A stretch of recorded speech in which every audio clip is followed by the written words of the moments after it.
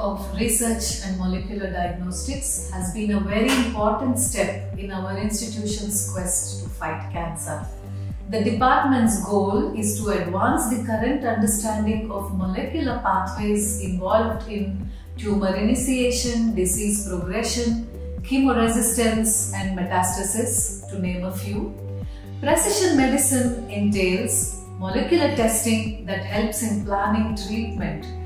Some of the research questions that are of interest to us and have started off as small projects are to study how the tumor cells disseminate during metastasis, how there are interactions between the tumor microenvironment and the extracellular matrix, and how that determines the fate of disseminated cancer cells, exploring immune dysregulation in tumor microenvironment, elucidating the effects of environment, lifestyle factors using mass spectrometric approaches example uh, pollutants, stress, nutrients, etc. on the epigenome and their ultimate impact on cancer and other human diseases.